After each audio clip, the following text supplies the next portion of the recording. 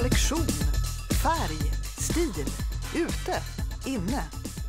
Men hur mycket bryr sig vi konsumenter om klädernas miljöpåverkan?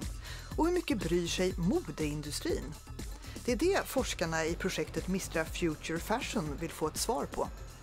I stort sett vill man försöka förändra eh, modeindustrin och klädesindustrin så att den blir mer hållbar. Och eh, det krävs väldigt många olika insatser för det. För dels är det en fråga om konsumentbeteende, dels är det en fråga om uh, vilka fibrer och vilket tyg som används.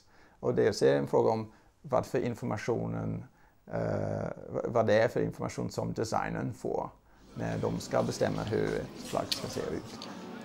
Mode går ju ut på konsumtion. Hur kan det vara miljövänligt? Hur ska ni få det här att bli miljövänligt? Om vi kunde få modebranschen att uh, inriktas mer på långlivade kvalitetsplagg som är kanske stilig i alla åldrar. Då, då har man någonting som, som har en lång livslängd och kräver mindre resurser. Om jag nu ska ut och handla kläder och jag vill handla miljövänligt, hur ska jag bära mig åt idag? Finns det någon märkning eller kan man gå efter något annat? Det finns ingen som riktigt ser över hela livscykeln på klädesplagget. Det finns märkningar som är fokuserade på um, sociala aspekter till exempel och märkningar som är fokuserade på kemikalier och märkningar som, uh, som svarar om plagget uh, tillverkas på ett ekologiskt sätt eller inte. Men det är lite svårt att se helhetsbilden numera. Uh, så vi tror det måste förbättras och, och hur man ska gå till, hur, hur man kan uh, informera konsumenter är en forskningsfråga. Men det krävs en livscykelanalys för att kunna göra en tillförlitlig miljömärkning. Men vad är en livscykelanalys? Ah, min favoritfråga. Man börjar med att tänka på hela livscykeln av en produkt eller en process. Så dels måste man ha i det här fallet fibrer och de måste komma tillsammans på något sätt i uh, ett plagg under tillverkningen.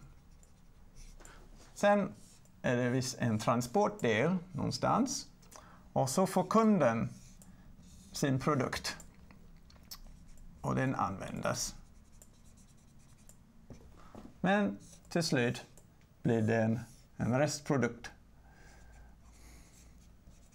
Och vad händer då?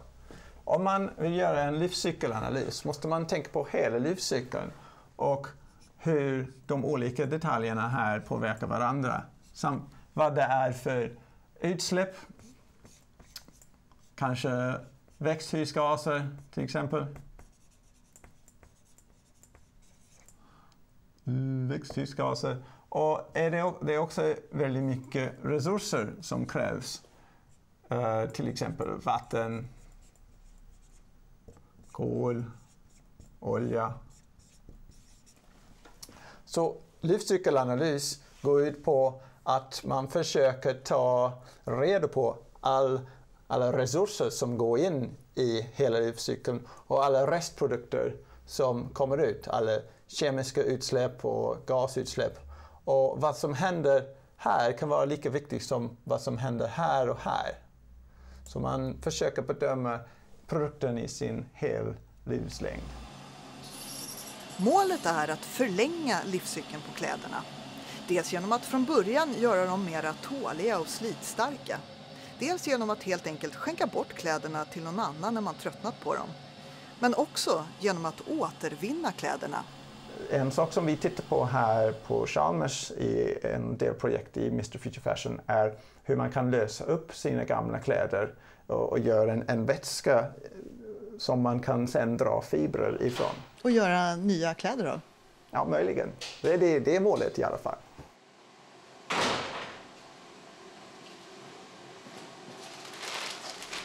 Va, vad har du för någonting här i då? Här har vi lite eh, återvinningsmaterial från Tyskland. Mm. Det är gamla jeans som har eh, hackats upp i små bitar. Och man kan se att det är en eh, väldigt mjuk och trevlig material. Man kan se att det är en eh, bomullrik blandning som är kanske 70% bomull. Därför måste vi hitta på ett sätt som man kan använda att separera fibrerna och eh, få ut det nyttiga till återanvändning.